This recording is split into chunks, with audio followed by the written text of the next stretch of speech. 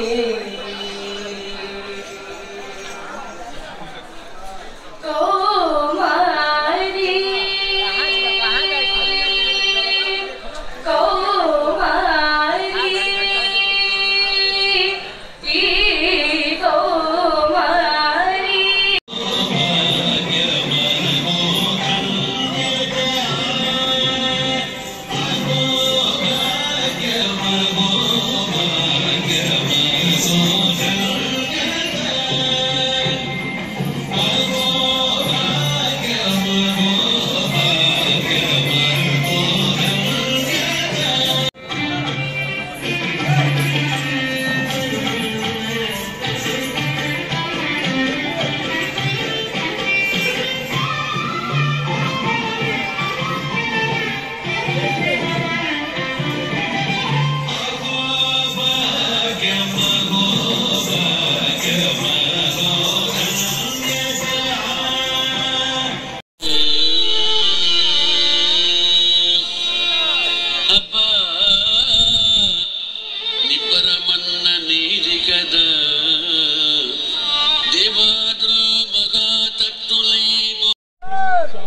आपका नज़ारा देख रहे थे था अस्सी घाट के सुबह बनारस का। तो फ़िलहाल हम लोग मॉर्निंग में सुबह क्योंकि मेरा था देखने का सनराइज एक फॉग की वजह सनराइज हमको देखने पाया।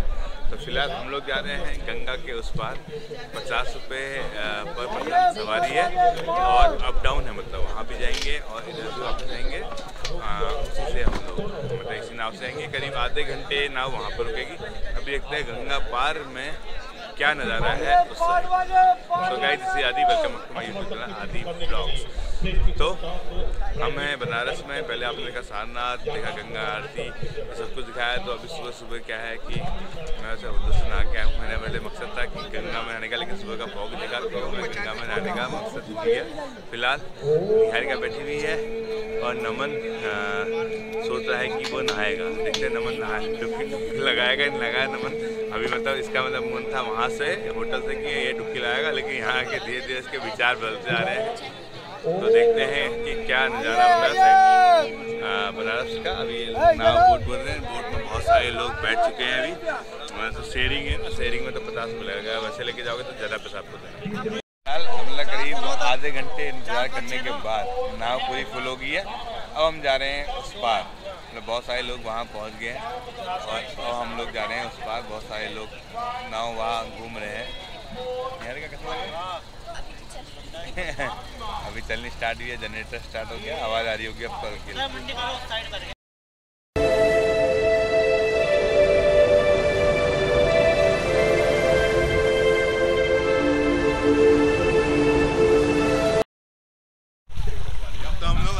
गंगा के इस पार। वहाँ से क्या होता नाव पूरी नहीं आ पाती है तो मैंने दिमाग लगा के चप्पल पहने थे। नमन जूते पहन के आया हुआ सभी ऑलमोस्ट जूते पहन के हैं। तो वो लोग अभी वहाँ से उतरेंगे, आप पाँव उनके गीले हो जाएँगे उनका इंतज़ार करता हूँ कुछ देर। कितना रुपये लेते हो? तीन सौ रुपये। अरे बहुत महँगा है। हो धोने का है अभी हमारे तो निहारिका को मैंने बोला कि भैया, बैठो, इधर क्या बोलते हैं, ऊँट में है। हम फालतू काम नहीं करेंगे। बोलो। हाँ। इन दोनों भाई बहनों को और ही फ़ोटो खिंचाने की। आधे घंटे का हमारे पास समय है कुल मिला के। चाहिए आपकी भी खींच दे वहाँ बैठो। लोग नहा रहे हैं। ऐसे। ऐसे कुछ नहीं जा रहा है मतलब बहुत सारे लोग आए हुए नहा भी रहे हैं, ऐसे यहाँ पर ऊँट लगे हुए हैं। सौ रुपये पर पर्सन के हाथ से ऊँट। में घुमाते हैं वहाँ तक पूरी रेत में। ये पूरा बीच टाइप का है रेती रेत। वो वो किधर लगे हुए हैं? टेंट? इसके पीछे दिखाई दे रहा है क्या? तो पीछे टेंट लगे हुए टेंट का किराया है आठ हज़ार रुपये आठ हज़ार रुपये एक नाइट का उस टेंट का किराया है करीब मतलब हज़ार टेंट के करीब होते हैं ऐसा कुछ बता रहे जी मत करो पकड़ो। अरे कुछ नहीं करना है। निहारी का ना अभी तक मतलब डरी से डरी डरी थी। उसने छोड़ दिया है देखिए। आखिरकार। अरे अरे भैया इसको पकड़ो। अरे वो कहीं नहीं आने का है। वो दूसरा बंदा लेके जाएगा। निहारिका की हालत खराब होगी उठने बैठने के बाद। ये देखो मज़ा आ रहा है हाँ? आज नहीं मज़ा आ रहा रेगिस्तान के जहाज़ जहाज़ के सवारी का आ रहे हैं दूसरा उठ आ गया। तो मज़ा आ रहा है देखो चल रहा है यूँ। और निहारिका की है हालत खराब। भैया हम गिर गए गिर गए भैया हम गिर गए? तो ये है मतलब गंगा पार के बाद ऊट का नज़ारा हम लोगों ने दो सौ रुपये दिए और दो सौ रुपये में वो वहाँ तक चक्कर मार के उनके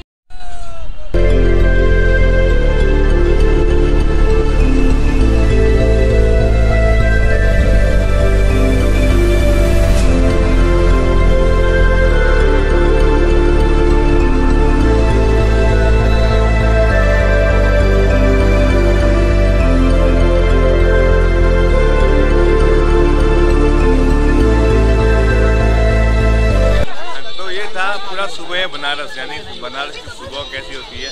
थोड़ा सनराइज आज नहीं हो पाया तो इसलिए मतलब थोड़ा मज़ा नहीं आया। और की वजह से अगर सनराइज होता है तो यहाँ से अस्सी घाट से देखने में काफ़ी मज़ा आता है सनराइज को।